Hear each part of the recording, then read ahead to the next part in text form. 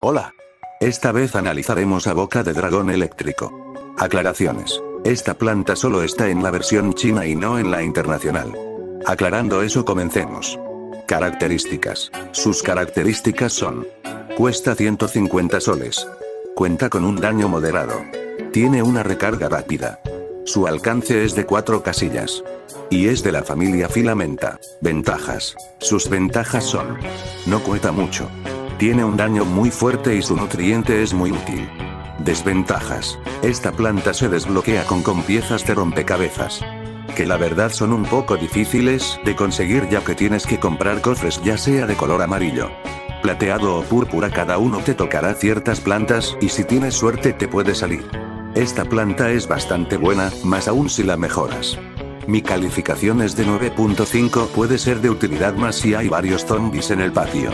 Muchas gracias al usuario Jordán Camilo un saludo Jordán. Adiós.